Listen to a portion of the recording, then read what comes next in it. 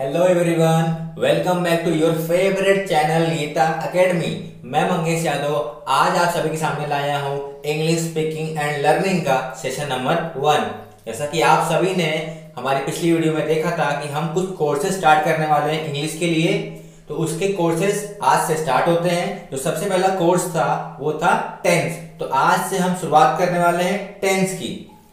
तो सबसे पहले हम देखेंगे टाइप्स ऑफ़ टेंस यहाँ पे तीन टाइप्स ऑफ़ टेंस होते हैं, सबको पता है present tense past tense and future tense तो हम लोग एक एक टेंस को एक एक दिन एक एक सेशन में करेंगे, जिससे आप सभी को ये सारे के सारे टेंस समझ में बहुत ही आसानी होगी। तो चलिए बिना किसी देरी के चलते हैं आज के सेशन नंबर वन की तरफ़। तो आप लोग देख सकते हैं जो यहाँ पे पहला टेंस है प्रेजेंट टेंस उसकी शुरुआत हो चुकी है। हर टेंस के चार सब टाइप होते हैं तो हम एक एक करके हर टाइप को पढ़ने वाले हैं। तो स्टार्ट करते हैं सबसे पहले टाइप से सिंपल प्रेजेंट टेंस इसकी आइडेंटिटी क्या है? आइडेंटिटी का मतलब होता है पहचानना। हम कैसे पहचानेंगे कि जो वाक्य, जो सेंटेंस लिखा हुआ है, वो किस टाइप का टेंस है?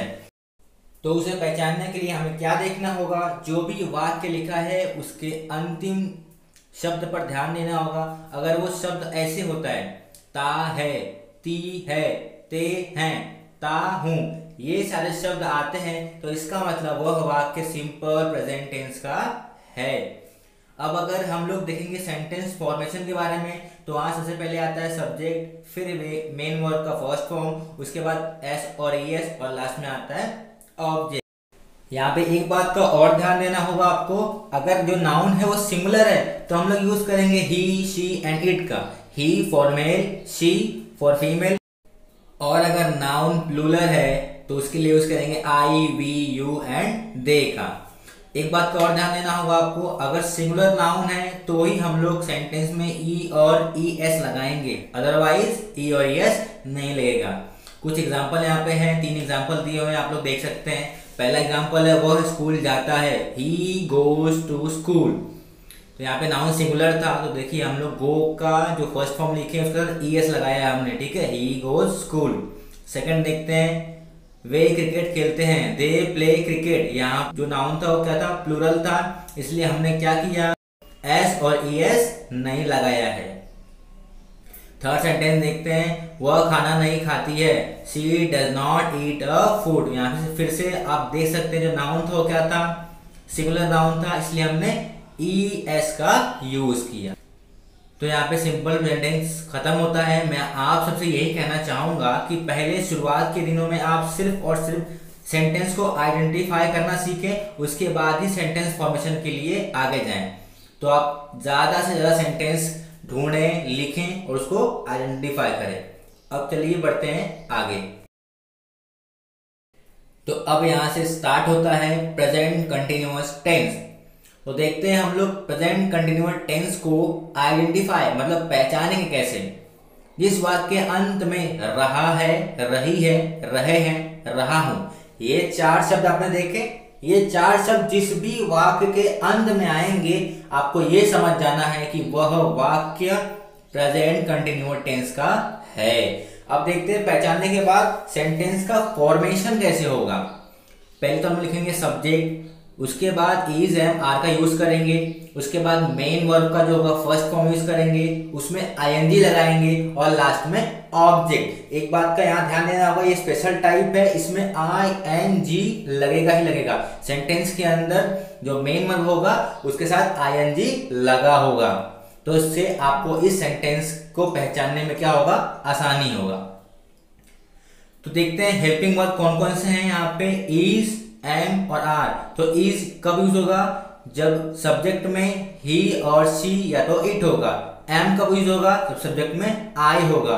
और आर कब यूज़ होगा? जब सब्जेक्ट में यू, वी और दे होगा। कुछ एग्ज़ाम्पल यहाँ पे हैं, हम लोग एग्ज़ाम्पल देखते हैं। तो पहला एग्ज़ाम्पल है, वर्षा हो रही है। इट इज़ रेनिंग देखिए, जो वर्ग है उसमें आई एन जी लगा है। सेकंड देखते हैं, राम बाज़ार जा रहा है। Ram is going to market. देखो, फिर से वर्ब गो है गो के साथ आई एन जी लगा है ओके फिर देखते हैं, मैं खाना खा रहा हूँ। I am eating a food साथ ही में आप देख सकते हैं कि यहाँ पे जो इज़ एम आर है, उसका भी यूज़ हो रहा है। स्टार्ट हुआ आई से तो हम जस्ट आई के बाद क्या लगाया?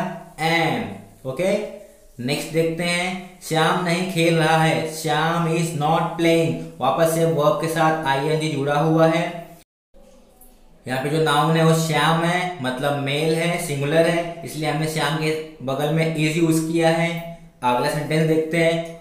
क्या वो पत्र लिख रहा है? Is he writing a letter यहाँ पे राइटिंग जो राइट वर्ब है, उसके साथ आईएनजी लगा हुआ है राइटिंग ओके और लास्ट वन क्या है? तुम क्या कर रहे हो? What are you doing do के साथ आई लगा हुआ है।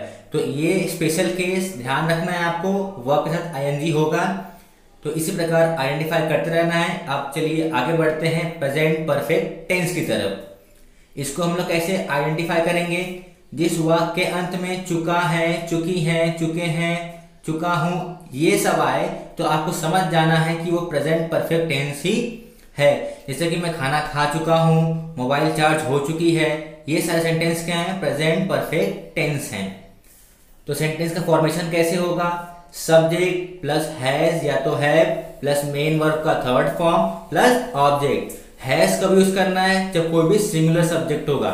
और हैव कब यूज़ करना है? जब कोई भी प्लूरल सब्जेक्ट होगा। इसका एग्जांपल देखते हैं। सूर्योदय हो चुका है। द सन हैज़ राइजन देखो सन अकेला है सिंगुलर है तो हमने क्या यूज़ किया? हैज़ यूज़ किया। वह बाज़ार जा चुकी है। She has gone to market वापस से सिंगुलर मतलब सी आया तो हमने क्या यूज़ किया? हैज़ यूज़ किया। वे पिकनिक से आ चुके हैं। They are have came from picnic they आया यहाँ पे मतलब प्लूलर तो हमने हैज़ की जगह हैव यूज़ किया है। इसी प्रकार के आगे के सेंटेंस भी हैं, आप लोग पढ़ें और इसको आइडेंटिफाई करें। इसी तरह के और भी सेंटेंस खोजें बुक में से या फिर इंग्लिश की बुक में से, उसको लिखें आइडेंटिफाई करें कि किस टाइप का टेंस है। तो ये होने के बाद आइए बढ़ते हैं आज के वीडियो के लास्ट टेंस की तरफ़। तो चलिए शुरुआत करते हैं प्रेजेंट परफेक्ट कंटिन्यूअस टेंस की। इसको हम कैसे पहचानेंगे? आइडेंटिफाई कैसे करेंगे? जिस वाक्य के अंत में रहा है, रही है, रहे हैं, रहा हूँ, इसके साथ में टाइम मतलब जो समय है, उसको भी दिया जाए तो हमें पहचान जाना होगा कि हाँ ये जो टेंस है जो सेंटेंस है वो प्रेजेंट परफेक्ट कंटिन्यूअस टेंस है। ओके okay, तो सेंटेंस फॉर्मेशन कैसे होगा? सबसे पहले शुरुआत होगी सब्जेक्ट फिर हैज़ बीन या तो हैव बीन उसके साथ मेन वर्ब का first form plus ING since for object ठीक है? सिंस फॉर यहाँ पे यूज़ होगा। हेल्पिंग वर्ब जो है हैज़ बीन किसके लिए यूज़ होगा? सिमिलर और हैव बीन किसके लिए होगा? प्लूरल फॉर जो हमने यहाँ पे देखा है सिंस या तो फॉर मतलब सिंस भी यूज़ हो सकता है फॉर भी यूज़ हो सकता है। तो फॉर किसके लिए यूज़ होगा? फॉर स्पेसिफिक पीरियड और टाइम मतलब एक निश्चित कालावधि जो, निश्चित समय होता है, उसके लिए हम लोग फॉर यूज़ करेंगे। और जो अनिश्चित है, ठीक है from starting to unspecific time मतलब उसका टाइम फिक्स नहीं है अनस्पेसिफिक है, उसके लिए हम लोग सिंस यूज़ करेंगे। तो थोड़ा और डिटेल में जानने के लिए एग्ज़ाम्पल देखते हैं। फ़र्स्ट एग्ज़ाम्पल क्या है? वह यहाँ चार साल से रह रहा है।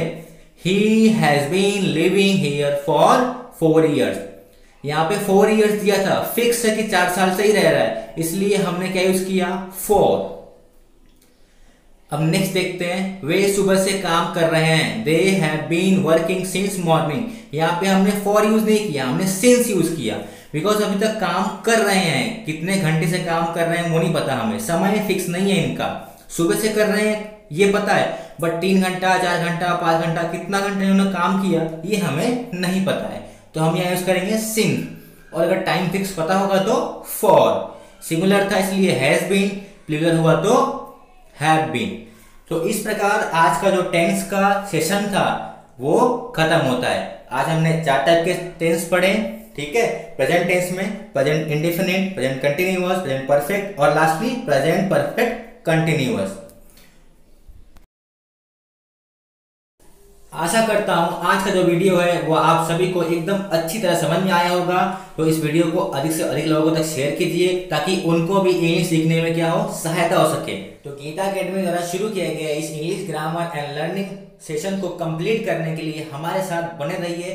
चैनल को सब्सक्राइब कर दीजिए, ताकि जब भी कोई नई वीडियो आए ग्रामर को लेके तो वो आप तक आसानी से पहुँच सके और आप घर बैठे ही सारे इंग्लिश कोर्सेज कंप्लीट कर सकें। Thanks for watching